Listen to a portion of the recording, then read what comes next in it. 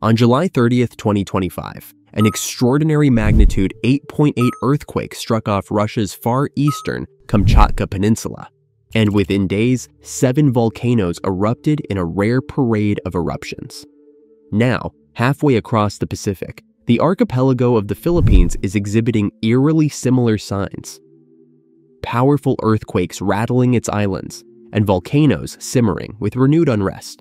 From the devastating 6.9 magnitude quake that rocked Cebu in September 2025 to the twin tremors off Davao Oriental in October that rattled Mindanao and triggered tsunami warnings, the archipelago has been gripped by seismic chaos.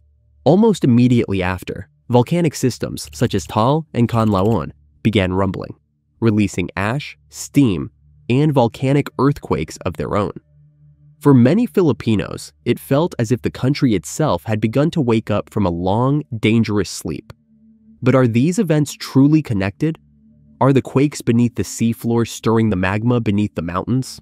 Or are these coincidences in a naturally hyperactive region? To understand what's really happening, one must look beneath the surface, to the unseen geological forces that tie the fate of the islands together. Join us today as we delve into the heart of the unfolding disaster in the Philippines. Don't forget to click on that subscribe button and like this video, as it's the best way to support this channel. Few places on Earth experience such a complex interplay of tectonic forces as the Philippines.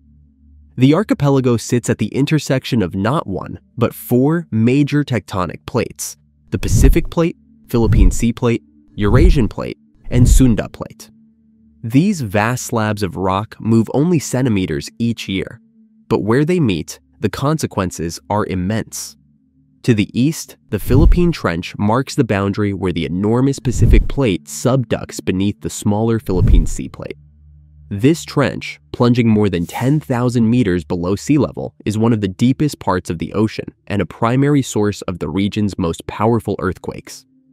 Meanwhile, to the west, the Manila Trench runs parallel to Luzon and the South China Sea, where the Sunda Plate slides beneath the Philippine Mobile Belt.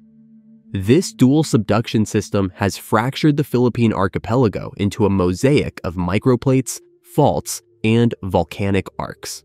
The Philippine Fault Zone out, a massive tear that cuts the country from north to south, accommodates much of the lateral motion between these converging plates.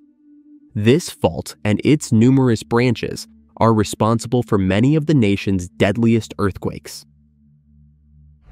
The same subduction that causes these quakes also fuels the country's volcanoes. As one plate sinks beneath another, water rich sediments melt the mantle above, forming magma that rises to the surface. Over millions of years, this process has created more than 20 active volcanoes, a fiery chain that mirrors the country's seismic scars. Thus, earthquakes and eruptions are not isolated phenomena. They are different expressions of the same deep, ongoing tectonic story. On the night of September 30th, 2025, the people of northern Cebu were jolted awake by one of the most destructive earthquakes in the island's history. Measuring around magnitude 6.9, the quake struck off the coast near Bogo Bay, an area previously considered seismically quiet. The ground shook violently for several seconds, toppling homes, splitting roads, and sending panic through the region. By dawn, the scale of devastation was clear. Entire communities were flattened, churches and schools lay in ruins, and rescuers dug through debris searching for survivors the death toll climbed to nearly 80 people, with over a thousand injured and tens of thousands displaced. Over 12,000 aftershocks rippled through the region in the weeks that followed, further destabilizing the ground and stoking fears of another major event. Barely 10 days after Cebu's disaster, another seismic catastrophe struck. This time in Mindanao, the southernmost major island of the Philippines. In the early hours of October 10, 2025, residents of Davao Oriental and nearby provinces were jolted by a magnitude 7.4 earthquake offshore. Barely half an hour later, a second, slightly weaker quake followed, forming what geologists call a seismic doublet. These twin quakes triggered widespread panic and prompted tsunami warnings across the eastern coast. Landslides blocked highways, homes crumbled, and several coastal communities suffered severe damage. For weeks, the earth beneath Philippines seemed to tremble without rest, and the sense of anxiety only deepened when reports emerged of volcanic unrest soon after. By late October, the focus of national concern had shifted from the sea to the land, specifically to the country's most volatile volcanoes. On October 26th, Philippine Institute of Volcanology and Seismology reported an unusual spike in the activity at Taal Volcano just south of Manila. Within 24 hours, the agency recorded 33 volcanic earthquakes and three short lived phreatic eruptions, steam driven blasts that sent plumes of ash hundreds of meters into the air.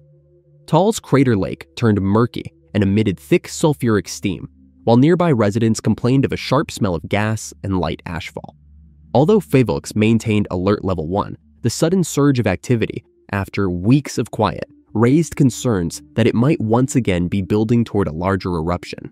At the same time, seismic sensors detected renewed volcanic earthquakes beneath Kanlaon volcano on Negros Island, the same island where the devastating Cebu quake had struck weeks earlier.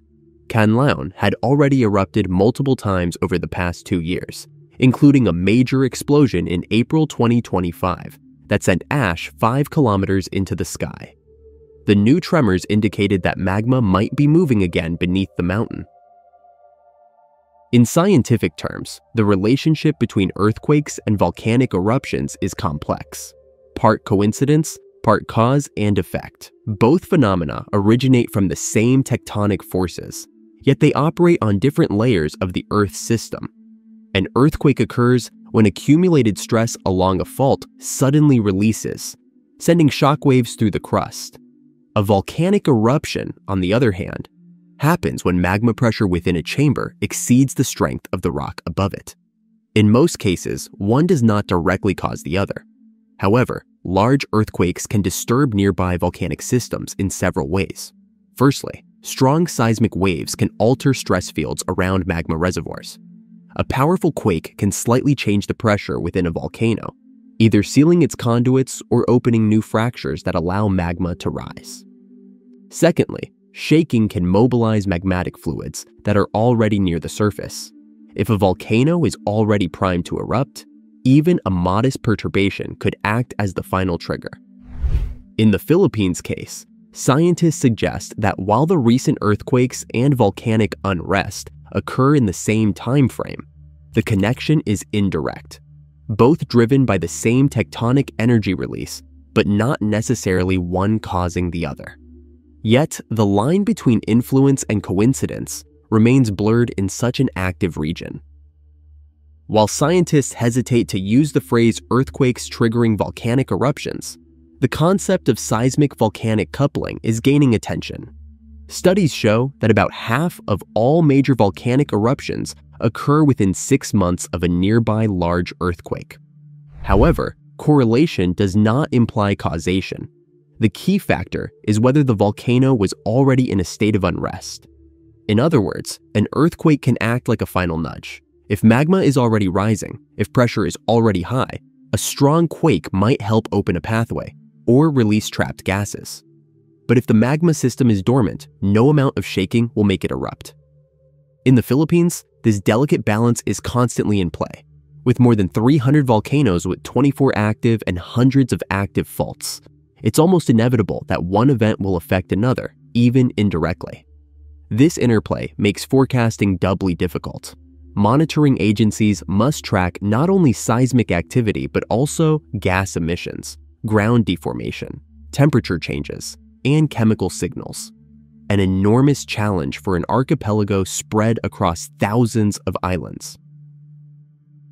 The connection between earthquakes and eruptions may not always be linear, but their coexistence tells a story of deep planetary motion, one that continues to shape, test, and define the Filipino nation.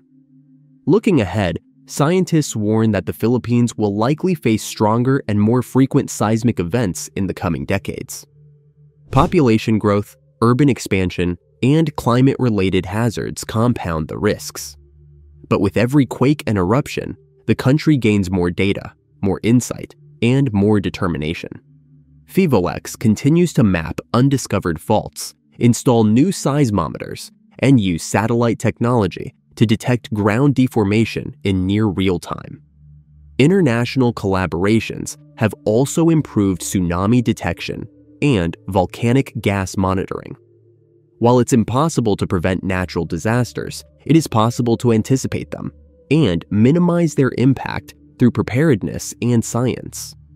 For the global community, the Philippines serves as both a warning and a model. It demonstrates how tectonic beauty and danger coexist, and how nations can adapt to the rhythms of an unstable planet.